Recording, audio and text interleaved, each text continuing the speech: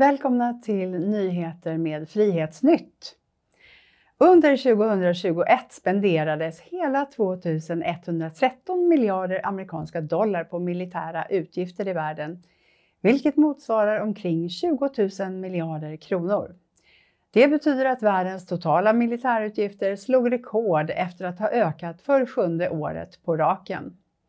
Ökningen från år 2020 var 0,7 procent enligt det internationella fredsforskningsinstitutet SIPRI.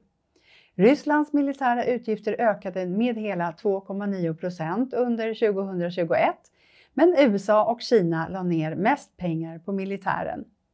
Sammantaget stod de två jätteekonomierna för 52 procent av världens sammanräknade militärutgifter. Forskaren Diego Lopez da Silva kommenterade hela med att konstatera att coronavirusets framfart och de ekonomiska svårigheterna som följde i dess spår inte på något sätt minskade ländernas totala militära utgifter.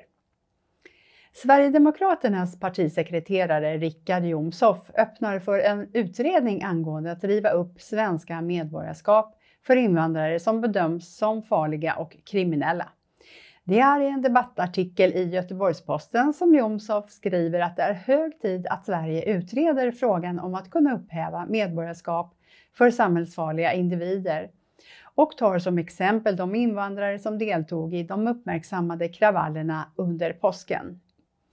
Efter kravallerna presenterade Sverigedemokraterna ett åtgärdsprogram mot våld och partiet vill bland annat kunna dra in bidrag och uppehållstillstånd för kriminellas familjer och införa svenskfientlighet och asocialitet som grund för utvisning.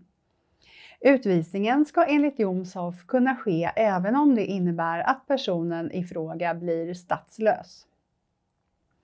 En nyligen utvecklad app i Italien ska belöna användare som uppvisar ett bra beteende som innefattar bland annat återvinning eller kollektivåkning.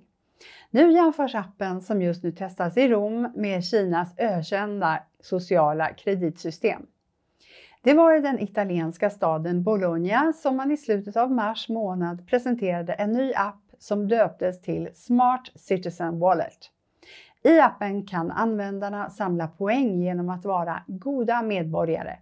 Och när man samlat på sig tillräckligt många poäng kan dessa bytas mot exempelvis kulturevent eller rabatter på olika samhällstjänster.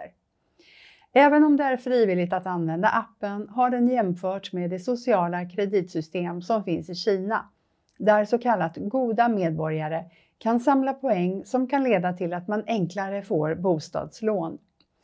De personer som misskött sig kan nekas att köpa biljetter till bland annat tåg. Nu förbjuder Twitter så kallad vilseledande reklam med inriktning på klimatförändringar. Någonting som hyllas av den socialdemokratiska klimatministern Annika Strandhäll. Beslutet innebär konkret att man inte längre får publicera en annons på Twitter om innehållet går emot den godkända åsikten kring eventuella förändringar i klimatet.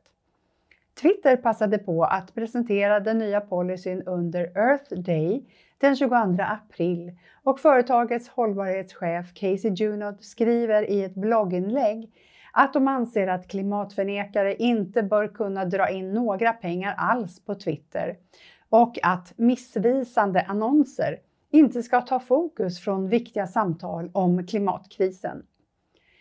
Klimatminister Annika Strandhäll hyllade Twitters beslut i sociala medier och skrev att det var bra att klimatförnekande reklam stoppas. Det var allt för den här gången. Tack för att ni har tittat!